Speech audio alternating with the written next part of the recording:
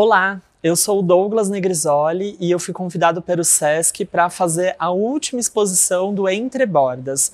O projeto Entre Bordas é justamente para que os curadores possam dialogar com os artistas que estão ao redor do SESC e eu dei o nome dessa exposição de Como Eu Existo. Eu quis trazer um pouco desses três artistas, das produções mais recentes deles, para que a gente pudesse refletir um pouco uh, em todo, depois da pandemia, em tudo que o mundo se tornou, é, eu quis trazer esses artistas para a gente poder refletir nessa ideia de que você, por exemplo, ocupa um espaço. Assim como eles ocupam esse espaço, uh, como eu existo é uma maneira de trazer você uh, para dentro dessa exposição.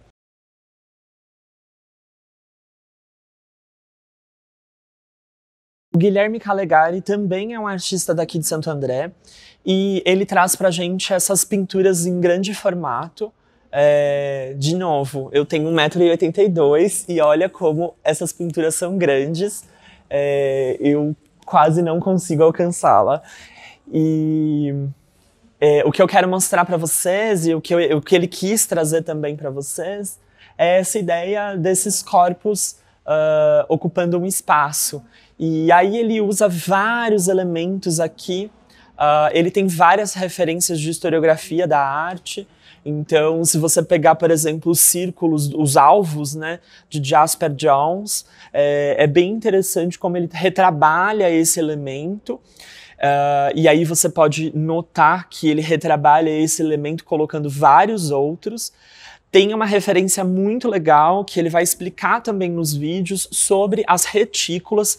Retícula, o que, que é a retícula? São esses pontos aqui que ele vai fazendo manualmente e é, ele cobre a pintura inteira fazendo esses pontos ele usa tanto tinta acrílica quanto tinta óleo em algumas, algumas obras. E aí ele vai explicar também, por exemplo, para essa obra aqui, ele vai explicar que é, o que lhe interessa, né, é de falar de dois concorrentes na mesma, no mesmo, na mesma pintura, que é um negócio que assim é, é só na obra de arte que poderia acontecer.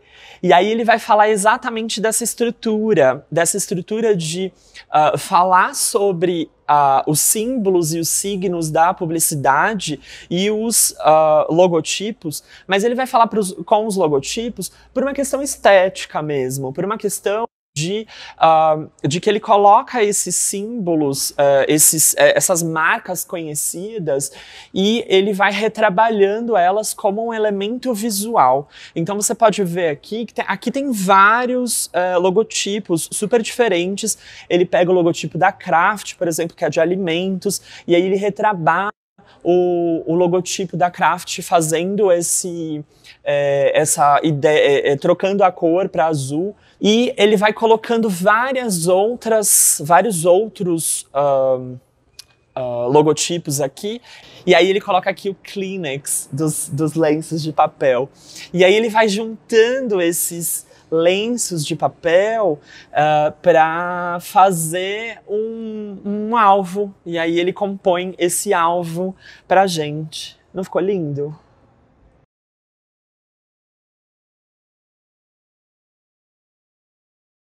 A Letícia Gonçalves traz essas grandes pinturas é, falando sobre várias coisas. Primeiro, é, essas formas que ela usa, que são formas que é, remetem um pouco a corpos, a cor esses corpos amórficos, essas coisas que, que você não sabe exatamente o que é, mas dá para distinguir que são corpos e que ela está falando aqui de uma estrutura corpórea e tudo mais. É, o, que, o que me interessa muito nessas pinturas, e eu acho que é legal a gente perceber essas, essa, essa coisa toda, é o movimento do braço, né? A, a Letícia pinta uh, então com o movimento do braço, e aí por isso que ele tem essas pinceladas, essa, essa ideia de é, dessa pincelada expressionista e tudo mais. E aí ela tá dando liberdade para os corpos, não é lindo?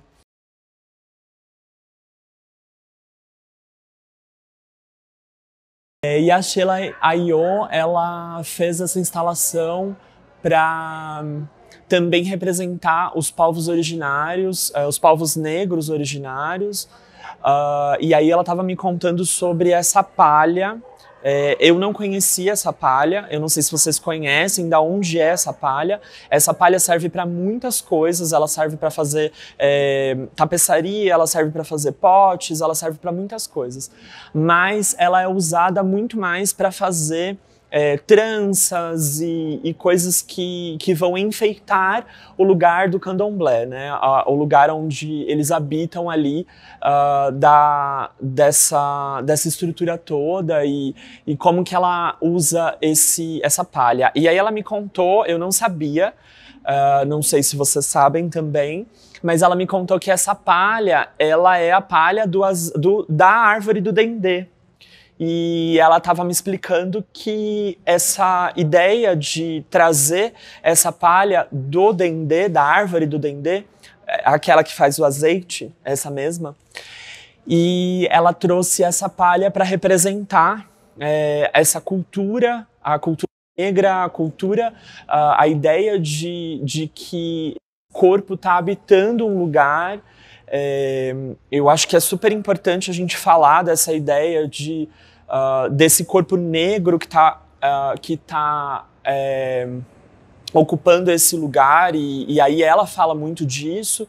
É, é, uma mulher empreendedora, dona de si, é, negra, que uh, fala sobre essa ideia de, de ser negra e essa ideia de uh, transformar isso tudo em uma instalação. Eu espero que você goste da exposição e durante esses vídeos eu vou explicar algumas coisas que você pode ver mas o mais importante é que você possa olhar para essas obras de arte, olhar para essa instalação e eu espero que você se veja em alguma delas.